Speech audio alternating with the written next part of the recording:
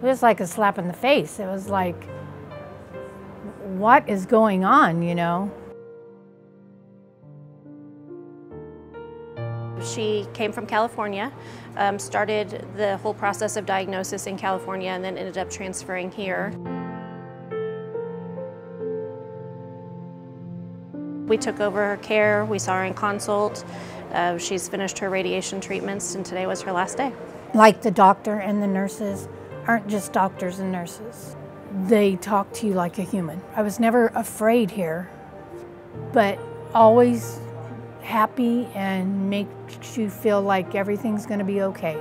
Our patient re received her very last treatment uh, for her cancer treatment here with radiation on the very first day of the new cancer center.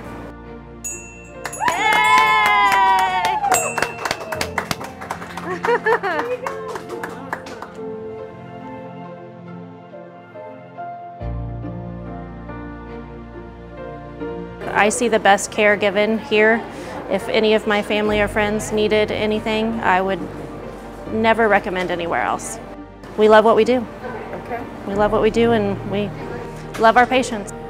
It's actually over. over. Yeah, it's finally over and I praise God for the mosaic and for feeling as well as I do and how well I went through everything and I really think it was because of the people around me.